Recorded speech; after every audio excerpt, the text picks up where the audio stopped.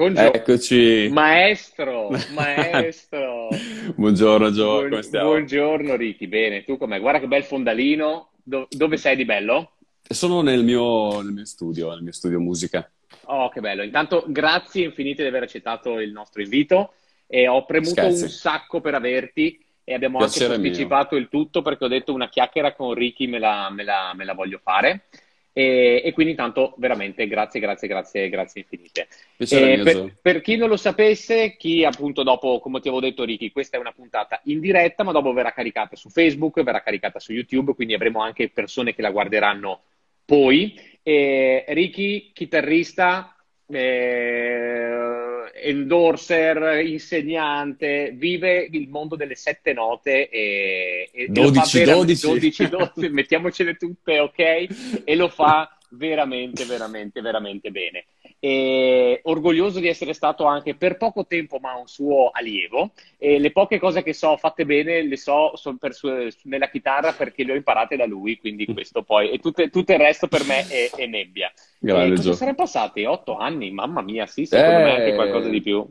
Anche qualcosa di più. Anche, anche, io, anche qual- guarda, non escludo che siano almeno 10. Sì, può, sì, può essere dieci anni, Eh. può essere veramente, può essere veramente dieci anni. E Ricky, quindi io ho il mio caffettazzo pronto, bicchierino, e, e quindi procedo già a farti la prima domanda, che è un po' una domanda di rito, ed è il, il motivo per cui esiste il Movie Bar, che è un po' far raccontare a voi eh, la vostra, la vostra realtà, la vostra vita, i vostri successi, i vostri- le vostre difficoltà, i vostri ostacoli, ed è del chiederti quando è cominciato il tutto per te. Musicalmente, Musicalmente è parlando, iniziato, cioè se parliamo proprio degli inizi con la musica, in, eh, il mio contatto con la chitarra è iniziato, vabbè, eh, a 12 anni, Mhm. però devo dire che è stato un inizio travagliato, perché io Ok. inizialmente volevo essere batterista. Eh, Eh sì, eh sì, questa è una cosa che, che è stato proprio il fascino che ho subito andando ad un concerto eh, del Conservatorio di Vicenza, dove la parte di batteria era talmente bella che mi ha lasciato folgorato, perché a quel punto lì sono impazzito per la batteria. Volevo a tutti i costi iniziare la batteria, soltanto che c'erano dei problemi perché la scuola più vicina stava ristrutturando le aule, per cui insomma risultava eh, complicato fare lezione nell'immediato, Sì. per cui cosa è successo? Aspetta oggi, aspetta domani, insomma il tempo passava e ho cominciato a appassionarmi alla chitarra. Ok. Anche lì però è stata veramente lunga la faccenda, nel senso che prima ho ricevuto dei regali del cazzo, cioè una chitarra di plastica, un, è- un vero obbrobrio che si chiama Festa Rock, è una cosa vergognosa che però all'epoca mi era anche piaciuta e Sì. praticamente trattasi di una, chita- una chitarrina giocattolo che credevo avesse le Ok. corde, invece non aveva veramente le corde, erano soltanto disegnate sopra, in verità c'erano dei pulsantoni da premere e questa cosa qua, insomma, è stato per, eh, per un po' di tempo un palliativo alla chitarra vera e propria. E, e quindi ho dovuto ulteriormente aspettare. Secondo me questa attesa, eh, che raccontate sembra anche abbastanza inverosimile, invece ha avuto un effetto molla, per cui poi quando sono partito con la chitarra classica a eh, 11-12 anni più o meno, eh, sono partito motivatissimo, per cui Ok. i primi anni sono stato veramente in- proprio totalmente catturato. Prima ero un gran disegnatore, non nel senso che fossi un bravissimo disegnatore, ma nel senso che disegnavo tantissimo. Certo. Come è arrivata la chitarra, praticamente ha spazzato via il disegno Yes. ed è rimasto soltanto, soltanto la musica, per cui sono stato folgorato per tutti gli anni del- eh, delle medie e del liceo, mi sono dedicato a quello. Grande, ma quindi sei partito in modalità Guitar Hero praticamente tu, Ricky, cioè il tuo approccio con la chitarra, giusto? Quindi pulsantoni Guarda, e... guarda, è la cosa più simile a Guitar Hero, in effetti. Grande. E, e- e sì, sì, ma era veramente una, una brutta roba, nel senso che aveva, oltre ai pulsanti sulla tastiera, aveva anche degli ulteriori pulsanti dove ci sarebbe dovuto essere il pick-up, ognuno dei quali ehm, emetteva una melodia già completa. Ok. In più, in tutto questo c'è una simil-leva del vibrato che, Ah, che permetteva Ah. di, di modulare queste melodie preconfezionate e diventava un- una vera schifezza. Quindi questo è stato l'imprinting. Ecco, per fortuna poi è stato dimenticato, non so più neanche dove sia, forse sarà stata data alle fiamme, non lo so. Comunque il percorso... Il E percorso... sei riuscito a innamorarti della chitarra? Nonostante Comunque, questo, esperienza, nonostante, nonostante tutto, questo. ti sei innamorato, ti sei innamorato gra- gra- grandissimo, Ricky. E quindi, cioè, nel senso, tu mi stai dicendo che non è stato neanche un colpo di fulmine col mondo della musica co- arrivato tramite la chitarra, ma sei passato batteria, chitarra di dubbia provenienza. Beh, che possiamo bypassare, insomma, okay. diciamo, da, da batteria esatto. diciamo, esatto. direttamente a chitarra elettrica. E, e, e, la tua formazione dopo, Ricky, dov'è? Che, che percorso hai fatto? Lì cosa è successo? Che ho fatto un percorso da una parte privato di chitarra elettrica, eh, mm-hmm. d- dall'altra, dopo un primissimo anno, come tutti, si inizia con la chitarra classica in cui, eh, in cui si strimpelli le prime cose, con impostazione classica, ma devo dire che il primo anno già io volevo fare chitarra elettrica. Okay. E, ho fatto, e ho fatto una cosa che per un insegnante di chitarra classica è veramente fonte di dolore psicologico, cioè avevo attaccato i portaplettri direttamente sulla spalla della chitarra classica. Eh, ti giuro, se ci ripenso adesso mi, mi, vengono i brividi, è veramente una porcheria incredibile. Comunque l'ho fatto e eh, mi ricordo che suonavo già i pezzi degli SDC eh, mentre l'insegnante di chitarra classica era fuori dall'aula tornava e mi trovava a suonare col plettro, stava male, poi mettevo, mettevo, giù il plettro, suonavo con le unghie e quindi ho fatto un primo anno di chitarra classica. Mm-hmm. Dall'anno successivo ho cominciato a fare elettrica, poi sono tornato a fare simultaneamente chitarra elettrica e chitarra classica, però questa volta in conservatorio. Ok. Fino okay. al punto in cui eh, a 19 anni ho dovuto decidere, nel senso che ero arrivato al punto di studiare con uno dei più grandi chitarristi classici eh, viventi, che è Stefano Grondona, okay. fortunatamente insegnante del Conservatorio di Vicenza, eh, il quale ovviamente per il mio quinto anno richiedeva 5 ore di studio al giorno. E dall'altra parte, eh, dall'altra parte avevo ovviamente la chitarra elettrica, quindi mi sono trovato un pochino a dire ok, tutte e due non possono coesistere, eh, devo fare una scelta in tutta certo. onestà e a quel punto ho scelto la chitarra elettrica. Chitarra che è stata, elettrica che è stata comunque la, la mia, il mio bivio fortunato. Ma, ma, dimmi una cosa, Ricky, che ti interrompo un secondo, ma così mi togli un, un, anche una cosa che io, avendo lavorato in un negozio di strumenti musicali, mi dici cosa ne pensi tu a riguardo. Eh, è giusto secondo te il fatto di approcciare al mondo della chitarra sempre attraverso la chitarra classica? Cioè io vedo, anch'io lo facevo, era un sai, mio figlio comincia a suonare, tu gli piazzi ste, sto manico alto 20 cm con queste corde che sono le pigi bene, ti viene fuori un rumore che neanche una grondaia percossa lo trovi come corretto oppure per, per, i piccoli sognatori chitarristi un bel chitarrino elettrico potrebbe, o un'acustica potrebbe essere anche più di stimolo? Guarda, questa è una cosa che ho affrontato proprio countless times, nel senso ne ho sempre parlato perché ovviamente il rito vuole che il primo strumento sia sempre quello classico, però vabbè, chiaramente se stiamo parlando di uno studente adulto che inizia da adulto a suonare la chitarra, il problema si pone relativamente.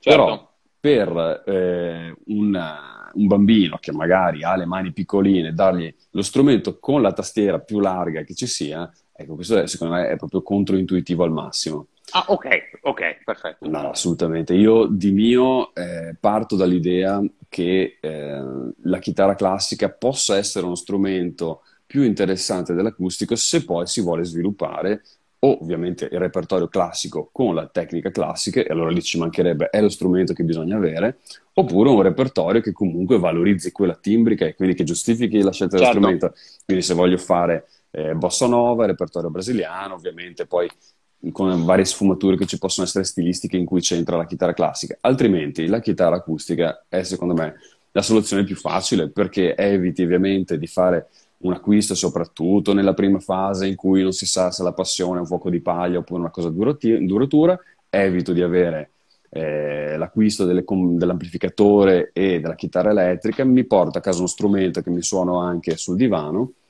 e certo. sono contento così ed evito di far soffrire queste povere manine. certo, no, no, infatti. E ti ho interrotto, scusami, intanto salutiamo Luca Biscotto che ci ha salutato, che in realtà Ciao, Luca. svegliamo il backstage, lui è a due metri da me, però lo salutiamo anche attraverso Instagram. Ma io non lo vedo, per lo saluto eh, esatto. Ciao Stefano. Stefano Cecchinato che ci saluta. Ricky ti ho interrotto che eri al bivio, quindi scelta la parte elettrica, mi hai detto, a livello di, di studi. Sì, esatto. Diciamo che poi, da subito dopo la maturità, perché stiamo parlando dei 19 anni, è subentrato forte l'elemento invece universitario e devo dire che e col senno di poi, avendo fatto eh, il quinquennio di psicologia del lavoro, ho avuto uno stop, un quasi stop con la musica, nel senso che ho continuato a portare avanti tutto, però con ritmi molto più blandi, perché la mia certo. idea era quella di fare l'assistente e il professore universitario in seconda battuta. E cosa è successo? Che eh, se io analizzo adesso quel quinquennio, dico forse ho rallentato di cinque anni il percorso mm. che avrei potuto fare musicalmente. Però poi, sai, col senno di poi, chi può dire che non sia in verità stata la cosa migliore fare quel certo. periodo che mi abbia dato delle altre conoscenze, altre, degli altri input. Praticamente, eh, cosa è successo? Che in quei cinque anni ho fatto una, una chitarra di mantenimento. Ok. Oh, okay. Per cui eh, c'è stato un forte rallentamento dell'investimento da quel punto di vista. Okay. Però poi, eh, vedi, quando, quando, le cose devono andare in un modo vanno. Devono andare, esatto. E quindi a partire dal quarto anno e poi sempre più forte verso il quinto anno mi sono reso conto che forse la cosa per cui più volentieri avrei affrontato degli ostacoli e per cui mi sarei svegliato più carico la mattina sarebbe stata la musica più che la psicologia. Certo. E allora niente, e allora lì eh, finito il percorso, perché comunque ho voluto concludere il percorso di laurea, poi sono partito molto carico e mi sono iscritto al CPM di Milano, okay. sì. dove ho studiato con Luca Colombo. Sì. E, e, lì è stato un percorso breve, ma comunque intenso. Breve perché? Perché loro eh, prevedevano un triennio, di in quel caso ad indirizzo pop rock fusion, e eh, con l'esame di audizione potevano già eh, stabilire se tu fossi al primo, secondo o terzo anno. Certo. Io sono stato ammesso al terzo anno e quindi di fatto quel terzo anno è stato il mio unico anno, dopodiché ho preso il diploma essenzialmente certo. sì, al sì. CPM. E quindi lì diciamo si conclude un pochino la mia formazione pop. Ok. L'anno dopo, invece, eh, a quel punto lì non stavo più studiando privatamente. Ok. Ero abbastanza auto, autosufficiente. Autonomo. Esatto, in quel momento lì. Però cosa ho fatto? Sono, eh, sono andato a fare un seminario estivo a Siena Jazz. Ok. E eh, lì ho avuto la fortuna di vincere una borsa di studio che mi ha permesso di rifrequentare l'anno successivo. Cosa è successo? Che eh, subito dopo quest'estate ho potuto partecipare, sempre tramite eh, audizione, a questo corso che secondo me non verrà mai più ripetuto nella storia di questo pianeta. Okay. Cioè, è l'Ingem, è proprio l'International Jazz Master. Ok. Che praticamente è stato organizzato sempre da Cine Jazz. Ok. Un evento con un fortissimo investimento da parte della banca Monte dei Paschi. Ok. Questo pre-crollo, pre-crisi okay, sì, bancaria. Sì. Per quello dico che è una cosa che, che non, non, sare... non, succederà più. No, non sa... ma non, non, avrebbe avuto luogo se non ci fosse stato questo investimento. Stiamo parlando di centinaia di migliaia di investimento. Certo. Praticamente Ogni mese c'erano quattro giorni in cui studiare con i più grandi nomi del jazz, cioè da John mm-hmm. Abercrombie, Kurt Rosenwinkel, Mark Turner, eh, Eddie Gomez, eh, Jeff Ballard, cioè veramente eh, Rufus Reed, cioè una valanga di nomi internazionali sì. per lezioni sia di gruppo sia individuali. Okay. Quindi è una cosa veramente, veramente unica. E eh. devo dire che lì mh, mm, è stata una, una, formazione veramente tosta perché eh, diciamo che oltre agli insegnanti che erano di prima, eh, proprio di primissimo livello, anche, eh, chi, anche chi era stato ammesso era veramente forte, nel senso che eh, c'erano soltanto 50 posti per tutta Europa. E, ah, per Bacco. Eh, eh. Sì, sì, e quindi eravamo un numero limitato, di chitarristi eravamo 5 e attualmente eh, buona parte degli studenti di quel corso sono tra i nomi di spicco del jazz contemporaneo, chi è rimasto ovviamente nel, nel filone jazz, da cui io in termini mainstream mi sono un pochino allontanato. Certo, e quindi per, per, per, dire eh, nomi come, chiaramente per chi segue, ben, segue il genere, nomi come Mastica Alessandro Alzoni, Francesco certo. Diodati, Gabriele Evangelista, sono tutti quanti compagni di corso che adesso eh, sono diventati parte stabile del, eh, del, New Quartet di Enrico Rava, che suonano a livelli altissimi, quindi veramente, veramente bello. E quello è stato un corso eh, che io ho seguito per un anno e okay. alla, fine, alla fine del quale ho fatto quell'ulteriore estate che era la borsa di studio dell'anno precedente. E quindi diciamo che lì ho avuto una, una forte, forte spinta ehm, dal punto di vista del jazz e poi un pochino devo dire che eh, mi sono fermato nel senso che ho fatto eh, lezioni eh, sporadiche con altri, ma poi devo dire che quello che ho imparato è arrivato soprattutto dalle, dai contesti lavorativi. Certo, che, certo. che ovviamente sono la vera scuola. Cioè, voglio dire, è, è chiaro che è come scuola guida, no? Sì, es- ma infatti, infatti qui, anche qui, Ricky, visto che tu sei musicista, insegnante, eh, le, qu- quanto secondo te eh, va messo sulla bilancia la parte formazione, studio, ma anche quella che dopo è la parte più pratica, quindi nel senso farsi l'esperienza, ma soprattutto anche quanto conta a tuo avviso la, la, qualcosa che non si può imparare, che quindi è proprio quell'estro, l, l, lato artistico che ognuno di noi ha. Cioè, se tu dovessi farmi un podio delle tre, delle tre realtà per un cocktail corretto, che, che dosi utilizzeresti in, un, in una, o, o, o, che vedi in te anche? Allora, eh, guarda, senza fare un discorso autobiografico, sì. perché poi è chiaro che ognuno, ognuno, fa caso a sé e per quello è difficile anche darti delle percentuali, però certo. diciamo che eh, quello che l'insegnante può fare è stimolare la tua creatività mm-hmm. ma non può fare di te un creativo. Certo. Ed è per questo che eh, ci vuole anche una buona dose di curiosità, eh, la passione stessa per creare che non tutti per forza devono avere, quindi eh, c'è chi rimane un ottimo esecutore e che sviluppa una sensibilità senza dover poi essere un creativo. Però diciamo che al contempo c'è chi eh, arriva anche appunto a lezione che arriva già con un sacco di domande, un sacco di ascolti, un sacco di assoli cercati in maniera autonoma, eh, di, di, informazioni comunque captate da varie fonti, poi oggi è anche facile avere... Andare a reperire, fo- certo. esatto. E quindi diciamo che la creatività può essere punzecchiata. Ok, io ti, okay. Posso, io ti posso dare delle informazioni, anche perché poi cosa succede? Che a volte, pur avendo fatto magari un percorso comunque autonomo di ricerca, eh, c'è chi arriva a un certo punto e si trova un po' bloccato. Allora ecco che un input esterno con vocabolario diverso, con delle informazioni teoriche diverse, con delle esperienze professionali diverse, possono andare a, a pungolare la creatività. È certo. chiaro che, quindi, questo per quanto riguarda eh, il ruolo magari dell'insegnante nel stimolare qualcuno che magari in quel momento ha un piccolo blocco creativo, però è chiaro che ci deve essere proprio una componente individuale. Sì. Poi l'insegnamento, cioè la, la, l'apprendimento di competenze è fondamentale, è fondamentale ovviamente mh, poi contestualizzato ai diversi settori, nel senso che un bluesman ha bisogno di competenze che sono diverse da quelle del jazzista, che certo. magari a sua volta ha delle esigenze, per esempio, timbriche, sonore, di strumentazione che sono diverse dal turnista pop, quindi eh, non si può neanche troppo generalizzare, cioè ogni eh, ogni contesto ha, le, ha il suo. i suoi tools, come dire, no? Quindi certo. cioè, eh, l'approccio dovrebbe essere proprio quello del problem solving. Dove vuoi arrivare? Da qui fin qui? Bene, allora da qua fin qua ti servono queste cose, queste informazioni qua.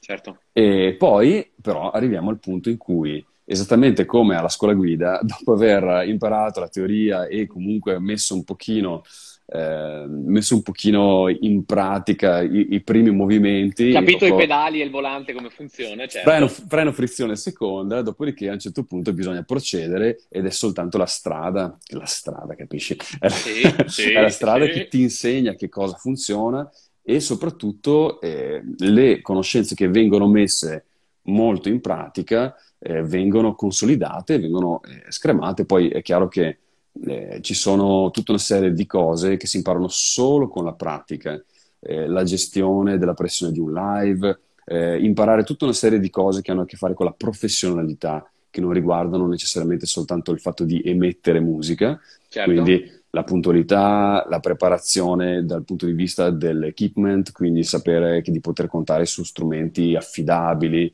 eh, saper eh, insomma di, di, di avere i suoni giusti per l'occasione giusta, Certo, mm, certo. tutta una serie di cose che appunto anche, anche, umanamente si sviluppano in maniera diversa. Avere la pazienza per alcuni contesti dove magari eh, bisogna aspettare tre ore e poi di, di, colpo, in tre secondi, bisogna essere super eh, attivi perché si sta subito andando in prova velocemente certo. con il massimo stress.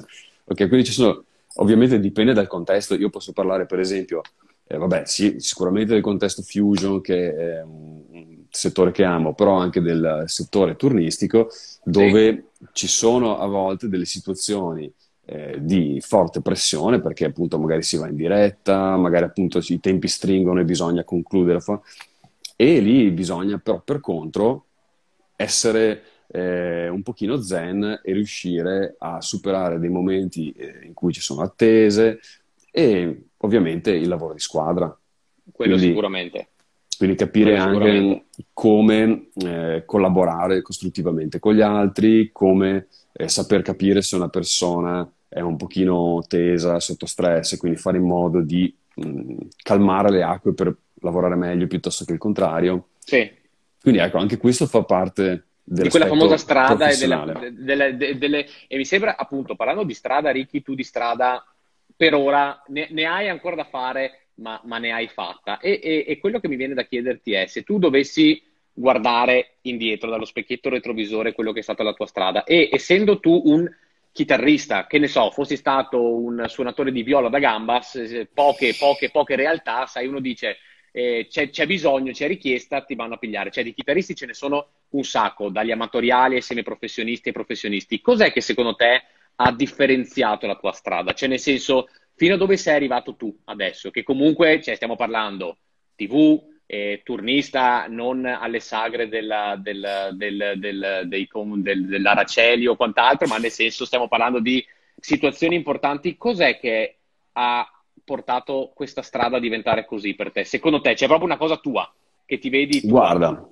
eh, per me eh, una cosa che ha aiutato tanto è stata la versatilità, nel senso che a me è sempre piaciuto tanta musica, non ho mai avuto, diciamo, eh, settorialità musicalmente. Mm-hmm. Mm, sempre stato curioso, tutta la musica è bella se suonata bene, se suonata in maniera ispirata. Certo. E a parte un paio di cose che proprio non, non, mi vanno giù, poi per il resto sono quasi onnivoro musicalmente. E questa cosa probabilmente è stata una grande fortuna, nel senso che il fatto di eh, non riuscire a concentrarmi solo su una cosa mi ha portato a sperimentare tanti stili diversi, appunto il percorso pop, il percorso... sono nato rocchettaro, eh, fatto, mi sono appassionato tantissimo al jazz eh, ho avuto appunto anche il percorso classico. Queste cose confluite eh, mi hanno permesso di affrontare probabilmente senza preconcetti, magari con un pochino più di eh, un po' più calato nella parte sì. i, vari, i, vari, stili. Quindi certo. diciamo che eh, soprattutto per quanto riguarda le chiamate turnistiche, questo mi ha permesso di poter suonare in situazioni, eh, che ne so, con Paolo Belli, dove di fatto eh, si suona un, uno swing da big band, oppure eh, situazioni più eh, pop, rock, come mi è capitato di fare nelle, nelle trasmissioni. E quindi, diciamo, ecco, il fatto è fare tanta musica diversa perché ovviamente è anche il mercato turnistico italiano che è strutturato un pochino in questa certo, maniera. Certo. E, e, negli Stati Uniti è un po' diverso, riescono a concentrarsi di più anche soltanto su un genere e avere comunque molto, molto da fare. Qua in Italia bisogna essere un po' jolly, un po' di tutto fare. E quindi, okay. questa, quindi la curiosità mi ha aiutato. Poi eh, l'altra cosa è quella eh, di, di, sfruttare le occasioni, il che non vuol dire Bravo. sfruttare le occasioni in maniera opportunistica, ma nella maniera più eh, banale del mondo ti capita eh, una buona occasione, ti presenti preparato, certo. fai in modo che le persone mh, mm, amino quello che tu stai suonando e abbiano piacere eh, che tu sia lì con loro, in modo tale da essere chiamato al prossimo lavoro. Chiaro, quindi, no, questo, questo, è giustissimo, bravo. È la cosa più banale del mondo. Sì, si tratta semplicemente di dire, se tu semini bene, poco alla volta c'è un passaparola che si costruisce e che ti porta a, a salire. Ovvio che eh, ci sono poi degli incontri che possono essere più produttivi di altri, però non bisogna mai ecco snobbare eh, le, le, varie occasioni. Ci sono le occasioni che da subito si capisce che sono occasioni importanti e delle altre occasioni che magari sembrano meno importanti e però magari dentro in quelle occasioni meno importanti c'è una persona che fa da tramite per qualcos'altro di decisamente più rilevante. Quindi diciamo che è un pochino il fatto di uh, cercare di su- suonare sempre con uno standard elevato, senza mai trasformarsi in, uh, in marchettari, ma non perché sia una marchetta quello che stiamo facendo, perché l'importante è non ha- mai, mai avere l'atteggiamento di sufficienza rispetto a quello che stiamo facendo Certo, e certo. tirare indietro. Certo, Gra- gran- grandi- grande Ricky, ma soprattutto per la parte in cui tu giustamente dici, cioè saper sfruttare le occasioni, non leggendo questa frase come una situazione da opportunista, ma sapersi che alla fine è il sinonimo di sapersi buttare, sapere ogni tanto chiudere gli occhi, andare avanti di cuore per cercare anche di sfruttare al massimo le occasioni che ci si parano davanti. Beh, eh, sì, è chiaro che bisogna uscire anche dalla propria zona di comfort. Certo. Cioè, nel senso, da un lato ci sono delle cose che arrivano e che noi dobbiamo saper sfruttare, dall'altra è chiaro che ci sono delle situazioni in cui eh, ci dobbiamo appunto un pochino buttare noi, nel senso che fa parte della crescita. È chiaro che ogni Chiaro? step in, qual- in qualche modo eh, ci porta a fare delle cose su cui non ci sentiamo al 100% sicuri. Certo, L'importante è certo, comunque certo. quello di eh, sapere che il- l'evoluzione passa dall'uscita dalla propria zona di comfort e quindi bisogna essere ovviamente in grado anche di eh, incamerare un pochino di, di stress per le situazioni importanti che si creano e conviverci sapendo che è parte della, della quotidianità, insomma, di chi fa questo tipo di lavoro. Quello assolutamente. E Ricky, una cosa, eh, e questa strada hai mai pensato di fermarla? Hai avuto mai dei momenti in cui hai detto non so se riesco a continuarla per tua motivazione o per motivazioni esterne? Allora, diciamo di fermarla mai, nel Ok, senso che non ho, non ho mai avuto eh, l'idea del, beh, se non ce la faccio, faccio qualcos'altro. Cioè, ok, b- forse è, forse è una fortuna, forse è un limite, ma io non ho mai pensato questa cosa, potrebbe, potrei anche non farcela. Cioè, non mi sono mai ok, posto proprio in quest'ottica. Nel senso, eh, ovviamente, nessuno ha sfera di cristallo, nessuno sa eh, quanto bene potrà andare, ma non ho mai certo, messo in dubbio il fatto di dire, ok, se non va bene entro due anni, se non va bene entro tre anni, che poi questo bene bisognerebbe anche definirci cosa vuol dire andare bene. Cioè, bisogna vedere quali sono i, goals che, che uno stabilisce, no? si è imposto, certo, Eh, però non ho mai, non ho mai pensato se entro tot non succede tot, non succede questa cosa, faccio dell'altro. Non ho mai avuto questo tipo di, di impostazione. Però va anche detto che negli anni sicuramente sono emerse tante, tante cose parallele, ovviamente anche alla musica, che mi incuriosiscono e che comunque voglio sviluppare, il che non significa che queste debbano comportare, eh, comportare la fine della musica, nel senso, eh, negli anni mi è capitato, ho avuto la fortuna di poter fare anche molto lavoro come speaker, eh, per mi ricordo che mi pubblicità. dicevi, certo, e, e questa cosa, mh, diciamo che è una cosa che n- non toglie spazio alla musica, però mi interessa portarla avanti assieme alla chiaro, musica. assieme, strade parallele, Sì, diciamo che mh, eh, più ci si orienta verso la possibilità di dover prendere un exit strategy, ok, di, di avere già in ok, sì, mente una, una via di uscita. Un'uscita di emergenza, e, e secondo me meno convinti si procede. Meno no, convinti no, si sono- procede. Quindi questo, diciamo questo che, certo, ecco, no- non partirei con, eh, con l'idea di, di avere per forza delle cartine tornasole. certo, Ecco. certo, certo. E Entro sempre in un'altra domanda abbastanza di rito per quello che mi riguarda, perché mi piace sempre sentire le risposte che, che cosa diresti a, chiamiamola come piccolo filone, e la, la prima che cosa diresti a è che cosa diresti tu, Riccardo di adesso, quindi 9 giugno 2020, al Riccardo di una decina di anni fa, sapendo, sapendo però che cosa è successo a Riccardo che è adesso gli diresti, guarda, aggiusta il tiro in quella situazione lì, eh, lascia stare quella parte lì, o come dico sempre io, gli daresti una bella pacca sulla spalla dicendo, oh, divertiti, goditi tutto, perché dove siamo arrivati è, è figo, quindi goditela tutta. Guarda, gli direi di dormire di più,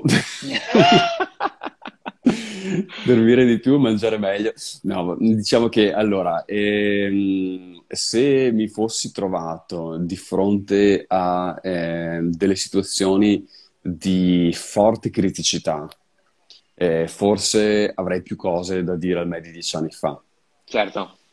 Nel senso che eh, è chiaro che se, se, adesso, col seno di poi, avessi visto il naufragare contro uno scoglio, contro, dritto contro un iceberg, ecco, eh, adesso magari mi troverei a dire, guarda, non fare questo, non fare quello. Aggiusta il tiro, certo.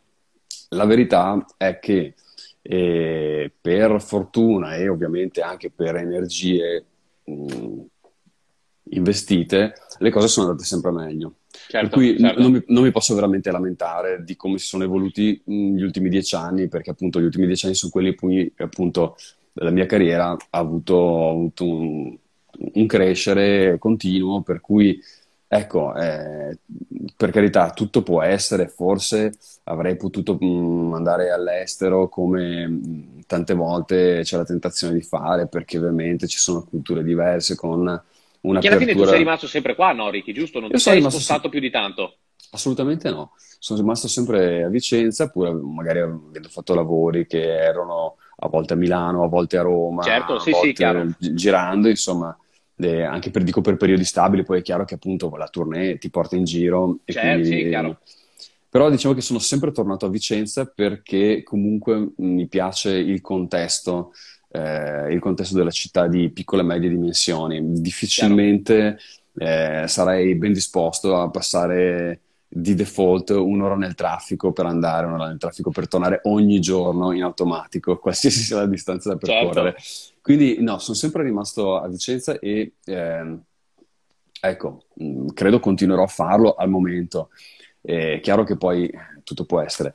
Però ecco, l'estero ovviamente ha un grandissimo fascino perché, eh, perché appunto si percepisce che c'è un rispetto per il musicista eh, diverso di, rispetto a quante tante volte c'è in Italia e devo dire che questo periodo purtroppo è la dimostrazione massima di, questo, di questa problematica. Certo. Eh, cioè, sappiamo tutti quanto la categoria eh, della cultura, non ne faccio neanche un discorso eh, riferito ai musicisti, sappiamo quanto la, la categoria cultura, cultura, in generale certo. sia stata snobbata e, e, quindi in questo momento eh, siamo penalizzati e visti nella nostra, eh, nel nostro apportare un elemento non materiale alla sussistenza della società e ovviamente certo. dimenticando quanto sarebbe stata cioè, voglio dire, proviamo a togliere i libri, la musica, i film, no, no, è vero, è vero, il teatro. Questa quarantena sarebbe stato un suicidio per tutti. È vero, quindi, è vero. E di solito le persone che minimizzano, eh, diciamo, la, eh, l'incidenza della cultura nella vita quotidiana sono magari gli stessi che vedono il musicista come automaticamente relegato al suo, al sua veste di piano barista. Certo. E poi sono quelli che se, dove, che se dovessero mai incrociare eh, Bocelli o Sting per strada si butterebbero per terra per avere un autografo. Quindi c'è, c'è, proprio quasi una, questa strana dicotomia tra quelli che sono i miti della musica quindi, e, e il concetto dell'arte e poi il musicista. E, e il lavoro del musicista, esatto. Sì, sì, Quindi sono... è come dire, ci piace quello che fate, ma non ci piacete voi. Sono d'accordo. Sì, sì, cioè, è, è, triste, è, triste, però è vera. È triste, è triste, è triste, è triste, ma vera, Ricky. Questo, questo sì. E continuando il filone, che cosa diresti a... Che cosa diresti, Ricky, a una persona che giovane, meno giovane che sia, che vuole intraprendere la strada dell'insegnante, dalla chitarra a qualsiasi esso sia lo strumento? Beh. Che consiglio saresti, vorresti dare? Allora, diciamo che una cosa è quella, la prima cosa, credo, è quella di essere onesti. Nel senso, si dovrebbe andare ad insegnare quello che veramente si sa.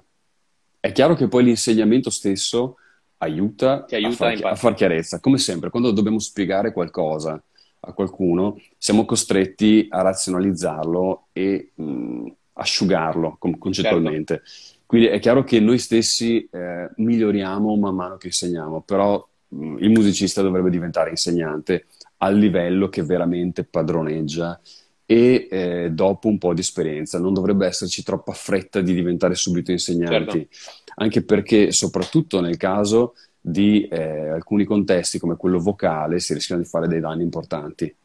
Chiaro, quindi, certo. eh, quindi lì mh, appunto è, è un organo mh, più delicato di quello che è più delle mani e quindi bisognerebbe essere, andare veramente con il piede di piombo. Anche chitarristicamente ovviamente bisognerebbe essere, eh, sì, non troppo vicini al livello che si, che si sta, che sta insegnando. Che si sta insegnando. E poi chiaramente l'idea è quella di eh, avere amore per la chiarezza e amore in un certo senso per la struttura. Quindi eh, bisogna banalmente, però è, è, fondamentale questa cosa, avere voglia di trasmettere le informazioni, perché anche il, uh, il musicista performer molto forte che però eh, fa lezioni per necessità e si sì. trova ad affrontarle con sufficienza, con svogliatezza, fa un pessimo servizio. Eh sì, eh sì, è vero, eh. Quindi, è vero. quindi diciamo che eh, l'insegnante deve avere, secondo me, amore anche per, per, l'insegnamento. A me è sempre piaciuto trasmettere informazioni e, ehm, e comunque eh, mi è sempre piaciuto anche dare una struttura, eh, cercare di, sì, eh, di, di, di, rendere semplici alcune cose che sembrano difficili se spiegate male. Sì, sì, è, è vero. È un po' questo anche il motivo per cui al netto di tutte le informazioni che si possono ottenere da, da internet, dai libri, ovviamente è stato ripetuto milioni di volte eh, quanto ci sia sovrabbondanza di, eh, di materiale didattico. Di materiale cioè, didattico. Sì, uno rischia anche di persi, no? c'è troppa, eh, perfino troppa roba. Uno potrebbe passare tutto il giorno a spulciare video, tutorial di questo e di quello e eh, sarebbe come una barca che continua ad andare a zig zag senza avere una direzione. Ecco, il ruolo dell'insegnante a volte è anche quello, pur sapendo che eh, chi studia ovviamente va a spulciarsi vari tutorial, eh, oppure libri e testi, eh, dovrebbe essere una specie di eh, coach che sì. Eh, mette insieme tutto quanto e lo personalizza cercando Su di misura renderlo... per... esatto. Sì, cercando di non creare confusione, soprattutto perché tante volte ci sono tantissimi argomenti su cui si crea inutilmente confusione. Quindi confusione, certo l'insegnante, se riesce a diventare un semplificatore, secondo me sta facendo bene il suo, il suo lavoro. Ma, ma, infatti dicevamo, avevamo iniziato la chiacchiera che appunto io dieci anni fa, adesso de- de- decidiamo che erano eh, dieci anni. dieci. E, e, e, io posso garantirti che quello che, che riuscivi tu a trasmettermi, oltre al lato più prettamente tecnico e nozionistico, era questa, ma proprio c'era un, emanavi quest'aurea di tranquillità, di voglia di guidare in un modo corretto e personalizzato, appunto, Beh, quindi una cosa un po' confezionata su misura.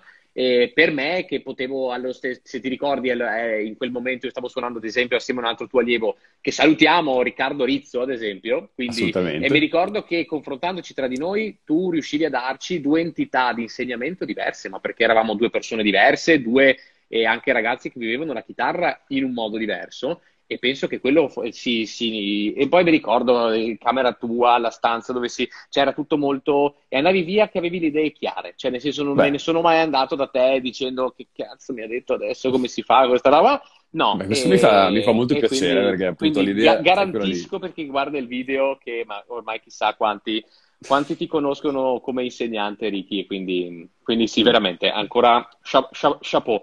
Finisco Grazie. e ultimo, quindi il cosa diresti a, che è il cosa diresti a colui o colei che ha voglia di intraprendere una carriera lavorativa con la musica, quindi non, non sotto un punto di vista didattico, ma di performance dal vivo. Certo. O non dal vivo, ecco, tutto quello, quindi lo strumento suonato. Allora, diciamo che il filone artistico è un filone eh, per cui si fa un certo tipo di ragionamento, quindi chiaramente significa eh, scrivere i propri pezzi, proporsi, ovviamente adesso ci si propone con, con video, eh, si cerca di, di, farsi conoscere appunto sul web e poi eh, si cerca ovviamente di arrivare a chi può effettivamente distribuire quella musica, promuovere, quindi ovviamente eh, quello è un percorso in cui una persona eh, si deve armare di una sconfinata passione che per logica dovrebbe esserci fin dall'inizio certo. e, e, di testardaggine. Certo. E quindi i miei consigli in questo caso sono un pochino più, più, raccolti e sono soprattutto il fatto di crederci molto. Se uno vuole farlo in quei termini, ci deve credere tantissimo. Per Grazie. quanto riguarda invece il discorso del turnismo, quindi l'idea di suonare musica altrui significa eh, da un lato crearsi una preparazione il più completa possibile. Il più completa possibile che non significa enciclopedica, certo. però avere un tot di conoscenze in modo tale da non essere eh, relegati a saper suonare una nicchia molto bene, una nicchia musicale, ma avere comunque l'elasticità di potersi mh, confrontare con varie richieste che possono esserci. Per esempio, se c'è, non dico una trasmissione, ma una serata con vari cantanti ospiti e si è sì. band, band o orchestra residente, è chiaro che gli stili possono essere molto diversi, bisogna saper fare una serie di cose, certo. una serie, bisogna saper eh, ottenere, eh, saper suonare credibilmente diversi linguaggi, avere la strumentazione giusta, eh, sapersi confrontare con uno spartito, che sia un siglo, che sia notazione pentagrammata, eh, avere que- quelle, quel tipo di competenze certo. nello specifico. E poi anche lì bisogna soprattutto avere eh, la voglia di mh, mm, suonare in tanti contesti e mettersi alla prova in tanti contesti, anche quelli minori. Perché appunto, come dicevo prima, a volte è proprio dai contesti minori che si crea quel giusto passaparola che... Mm, Quella catena di contatti che ti dà la spinta giusta, certo. Esattamente. È vero, è vero. Quindi, è quindi, quindi all'inizio la cosa migliore è prendere i lavori cercare di suonare uh, in tutti i contesti con la stessa convinzione e la stessa professionalità e poi le cose si evolvono da sole. L'ho visto certo. per tantissimi, non, non, parlo soltanto di me stesso, sì, sì. l'ho visto per tantissimi colleghi, si tratta proprio di eh, di, di, mettersi appunto sempre al servizio della musica, suonare sempre al top, poi le persone ti richiamano. Cioè, esatto. E, e Ricky appunto, quindi eh, a, a, fianco di solito, n- normalmente, a fianco al passaparola c'è sempre l'altra strada, che è la strada un pochettino, passami il termine, più pubblicitaria. E come ben sai, uh, io, io, ho uno studio di comunicazione, studio creativo, chiamalo come vuoi, e come vivi tu il, questo discorso? Cioè, nel senso, tu per te stesso quanto hai investito, quanto sai che devi investire, quindi che ne so, sai, eh, i video sul canale YouTube, la pagina Facebook, Instagram curata, con le stories per far vedere dove si è, è una cosa che tu credi che debba andare sempre a, a fianco a quello che è il passaparola, quindi una cosa più umana, e investi anche tu su questo, lo consigli a chi vuole mostrarsi, deve mostrarsi al, al mondo esterno, eccetera? Allora, assolutamente è chiaro che eh, bisogna prendere atto del fatto che viviamo in un certo periodo storico certo. e che lo standard in questo momento è che le persone fruiscano musica dal telefono, dal computer. Certo. E questo significa che tante volte la musica eh, deve essere mostrata e quindi eh, è necessario eh, che se si vuole far sentire quello che si sta, che si sta producendo, farne appunto un video, qualcosa che possa essere fruito visivamente. Quindi sicuramente è importante. Eh, io personalmente non sono, eh, non sono martellante da questo punto di vista, e, eh, però devo dire che pubblico esclusivamente materiale musicale. Per certo. cui diciamo che eh, tutta la mia presenza su, eh, sui vari social, su internet in generale, è esclusivamente musicale, per cui quello che mostro è sempre soltanto appunto eh, una performance o uno spunto musicale. Da questo punto di vista, quindi, non mi sottraggo, non, non sono ossessionato da questo, certo. ma, ma, comunque no, non mi sottraggo nel senso che effettivamente eh, se stiamo facendo delle cose che eh, ci piacciono e che pensiamo possono essere di interesse anche per altri, perché non mostrarle? Certo, eh, certo. La cosa importante, diciamo, è che non succeda, perché soprattutto nei musicisti giovani, e questa cosa qua la vedo molto, che non ci sia il sostituire l'attività dal vivo con l'attività video, soprattutto in casa propria. Cioè, quindi il, il, problema qua è il fatto di eh, pensare che mostrarsi, eh, mettersi in vetrina sui social sia eh, in qualche modo eh, un compensare una mancanza di live. Ecco, no, certo. questo no. Cioè, è chiaro che le due cose insieme producono il massimo dei risultati, ma eh, trasformare la generazione eh, attuale di, di, ragazzi dai 18 ai 25 anni in uh, questa prateria sconfinata di musicisti eh, che registrano video in casa propria, ecco, n- non è quello che secondo me serve al mondo della musica, servono performer. Servono Bravo, persone che certo. sappiano stare sul palco e che anche siano, eh, in un certo senso, eh, oneste da questo punto di vista, nel senso che poi chiaramente vedo che sempre di più eh, prende piede anche il fatto di ritoccare i video, nel senso ritoccare le performance, editare il proprio audio. Ci sono anche delle, delle diatribe su, proprio su Instagram abbastanza feroci su chi eh, sta raggiungendo una notevole popolarità okay. con dei video che sono poi, che si è visto che sono di fatto ritoccati. Ritoccati, certo.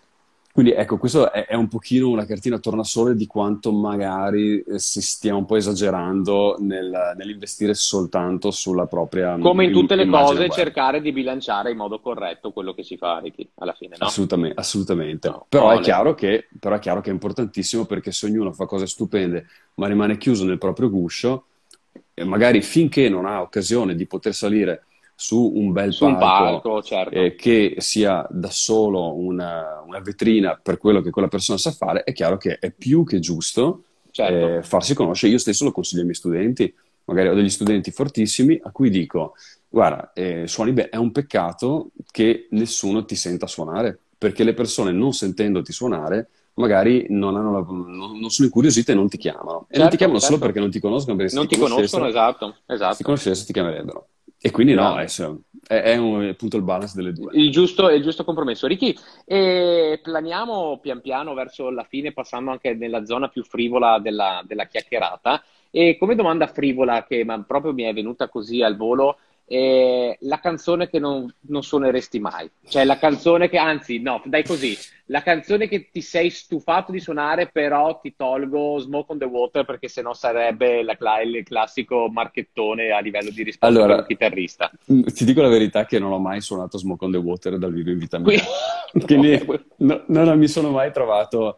Eh, no, e ti posso dire che ci sono canzoni che non avrei mai pensato di suonare okay. e che di mio non avrei mai voluto suonare. Okay. Eh, però mi è capitato di, suonare Despacito però con lui suona. Attenzione, attenzione sempre che Riccardo Bertuzzi mi sta...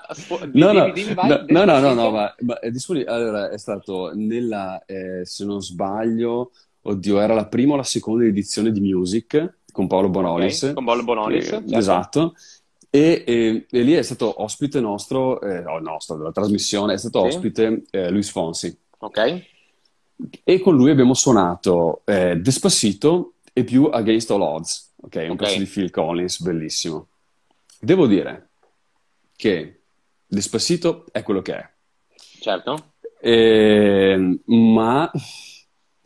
Vai, vai, tranquillo, talmente tranquillo, bravo. Tranquillo. No, sì, sì, sì, no, no, stavo pensando una cosa, ma è, è che cioè, lui è stato veramente eh, bravissimo. Il pezzo è quello che è. Il pezzo certo, l'ho, certo. ho avuto modo di odiarlo, ma lui si è dimostrato un, un professionista, professionista, e un cantante talmente forte che devo dire ho dovuto totalmente rivalutare quello che era il mio approccio nell'ascolto certo, di, di Despacito. Certo. Quindi, anche perché poi ha cantato il pezzo di Phil Collins, Da paura, Certo. E poi, eh, conoscendo meglio il personaggio, ho scoperto che non è eh, il fenomeno venuto fuori dal nulla e che si era che no, infatti, con quella canzone dal nulla, no, era uno che ha una carriera della Madonna. La sua, storia, la sua strada l'ha fatta, tornando al discorso della strada di prima. Sì, con, sì. Una gavetta, con una gavetta importante. Per cui ecco, dai, diciamo che non, non c'è un pezzo che proprio detesto. Ok, sì. Eh, ci, ti dico la verità, ci sono dei pezzi nel jazz che magari sono, non suono particolarmente volentieri perché sono veramente troppo, troppo sì, eh, sì. abusati. Però, sì, però ecco, voglio dire, non stiamo parlando di, di Maracaibo. Ecco. No, eh, grande. E appunto, prima hai citato Bonolis, quindi ecco, ne, ne hai fatte ah, di, di, di palchi, ne hai calcati, di situazioni chiamiamole grosse, tanto un attimo per generalizzare, ne, ne hai fatte, ma se te ne dovessi chiedere una così proprio boom boom, esplosiva, di quelle che ti ha lasciato, che avevi le palpitazioni a due eventi, che dici porca miseria, questa non me la dividi, eh, cioè il, la situazione della vita che dici... Allora, wow. eh, in verità non ce n'è una. Ce ne mm, sono varie. Immagino, certo, certo. Ce ne sono varie perché magari ci sono stati dei live di fronte a veramente tanta gente. Mi ricordo uno dei primi live veramente grossi che ho fatto con uh, i ragazzi del cast di X Factor al Capodanno 2011. E lì ero di fronte a eh, eh, 30.000 persone e mi ricordo che in particolare la seconda canzone con meno 4 gradi era una canzone che partiva soltanto con la chitarra e Charleston della batteria e lì era veramente tosta perché appunto di fronte a questa mh, mm, proprio distesa sconfinata di teste che non vedevo nemmeno dove finivano, mi trovavo io che non mi sentivo neanche le mani a fare, eh, a fare questo intro, tra l'altro appunto un intro abbastanza, abbastanza impegnativo e lì ho semplicemente dovuto chiudere gli occhi, crederci, però è andato tutto quanto bene, quindi eh, è stato ottimo. E lì diciamo che è stata una delle prime emozioni, però certo. forse eh, un elemento più gratificante anche è stato quando proprio uh, all'interno del, del, secondo Music, della seconda sì. edizione di Music, mi sono trovato a eh, fare la sigla di apertura con mm. un pezzo dei Queen eh, in cui eh, praticamente infatti. nell'assolo ho avuto la mia camminata, quindi con 5 milioni di telespettatori e eh, il mio Radio Jack a fare la mia passerella con Vittorio Grigolo su Somebody to Love. E quello, devo dire, è stato un momento eh, dove, sai, dopo aver fatto tante, eh, tante, esperienze di trasmissioni dove comunque sei parte di una band che, eh, o di un'orchestra, insomma, che magari è anche molto inquadrata, ma è sempre nel suo, lì mi sono trovato a eh, vivere con, con, piacere, con grande soddisfazione anche questo momento della, della passerella in cui veniva data molta importanza alla solo di chitarra, visto che sono anche sempre meno, è stata certo. veramente una, una bomba di situazione. Mi ricordo il video l'avevi messo su, su Facebook Esatto. veramente, veramente tanta roba. Cioè, già, eh. la, già la canzone parte bella avvantaggiata, più il contesto. Sapevo forse che sareste arrivato a dirmi quel momento lì, ma perché ripeto di aver visto quel video ho detto porca, c'è la miseria, cioè non è eh, un po' di spettatori davanti e ce li avevi, ce li esatto. avevi, ce li avevi in quel momento. Ricky, sempre le, leggerezze, avessi, dovessi ricominciare a studiare. E tra i vari artisti, tra i vari chitarristi, conosciuti o meno, chi è che vorresti come tuo insegnante? Vorresti, Guarda, cioè, Riccardo Bertuzzi vorrebbe prendere lezioni di chitarra da? Allora, ti dico questa cosa qua. Sec- secondo me, mh, mm, un musicista non dovrebbe mai smettere di studiare e di imparare. Certo. E questo giusto. è un fatto. Quoto. E quello che succede è che magari nel tempo non sia più semplicemente un'unica guida, quindi una persona che eh, ci segue in un percorso specifico.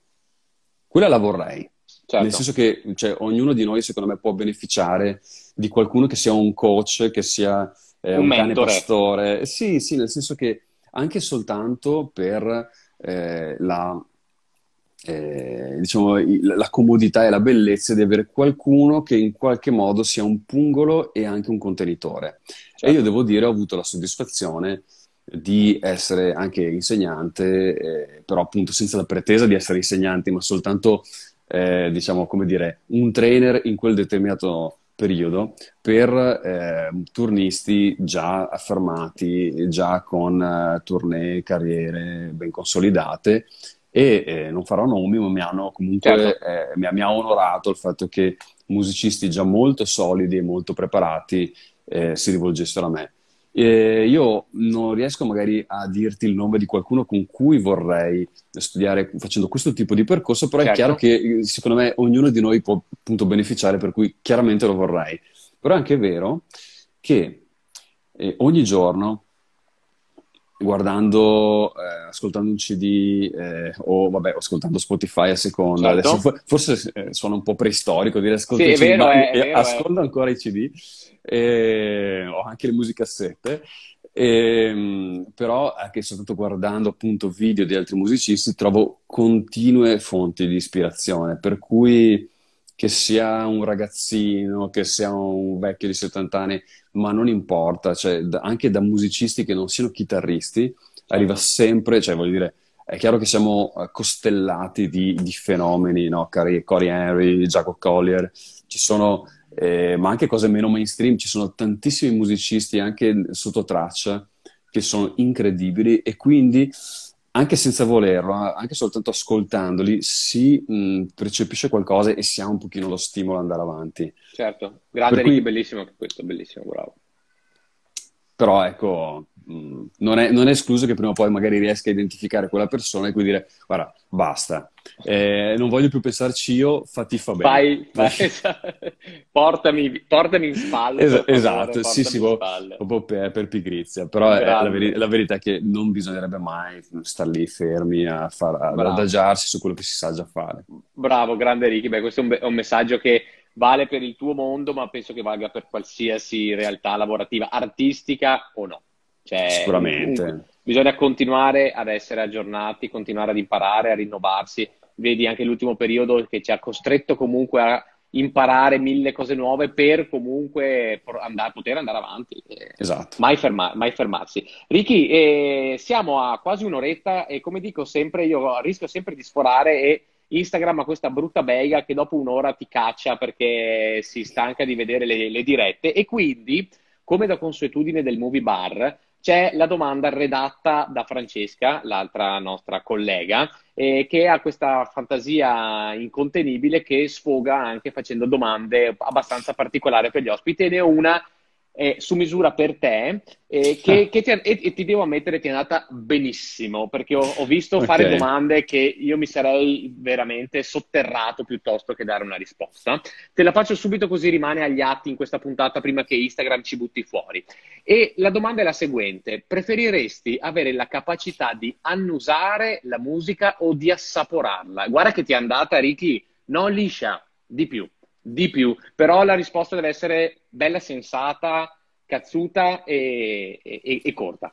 Allora, i profumi mm? di solito, proprio per, eh, per come si è sviluppato il nostro cervello, i profumi sono legati a delle primissime esperienze di vita e di solito sono ancora più evocative dei gusti.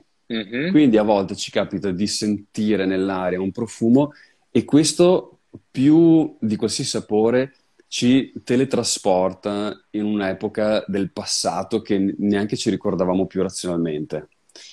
Quindi, essendo ancora più evocativa e quasi, capito, trascende proprio le decadi, forse annusare, perché è più intensa come esperienza. Ragazzo mio, era semplice, però l'hai proprio interpretata che mi è piaciuta. Qui viene là, fuori il lato più psicologo, quindi, giusto Ricky? Del, del sì, ma percorso. infatti poi ti mando la... esatto, esatto. Beh, risposta, risposta perfetta, veramente, che, che comunque ribadisco, come ti dicevo prima, proprio dimostra che tipologia di professionista sei, che persona sei, che oltre Grazie, tecnica, esatto. capacità, strada fatta e è proprio questo modo tuo di essere semplice, profondo sulle cose che ti porta ad essere un pro con la P maiuscola. Grazie e, Ricky, quindi uno, ringrazio te che hai accettato tutto questo. Ricordo che verrà eh, poi pubblicato su YouTube, verrà pubblicato su Facebook. E ringrazio chi ha seguito la, la, puntata, ho visto un po' di mani che salutavano, un bel po' di gente che si connetteva, sono arrivati vari saluti. Eh, Ricky, il movie bar sta piano piano prendendo forma fisicamente e spero che anche per una licenza di alcolici e analcolici di averla. E quindi anche tu, essendo abbastanza comodo, sarai un ospite, se ne avrai voglia, fisico, quindi verrai direttamente nei nostri studi adibiti a bar per fare una chiacchierata dal vivo, così almeno, casomai quella volta ti chiediamo, portati via anche una chitarra che, che, che, si fa una strimpellata tutti quanti assieme con quello che io mi ricordo. Ma c'è, avete, c'è, c'è, il buon Luke. Se avete, se avete, la licenza per gli alcolici, va bene. Ah, ok, ok. Segno come, come must, must have. Ricky, siamo, abbiamo chiuso perfetti, mancano 50 secondi e niente, io ti saluto, ti ringrazio ancora infinitamente, è stato un piacere averti qui con noi. Super piacere mio Joe, grazie ancora dell'invito e niente, buona continuazione anche per le, tutte le prossime puntate. Grazie infinite. Ricky, un salutone gigantesco, a prestissimo, sai. Un abbraccione. Grazie a tutti. Ciao, ciao, ciao ragazzi, ciao, ciao, ciao, ciao.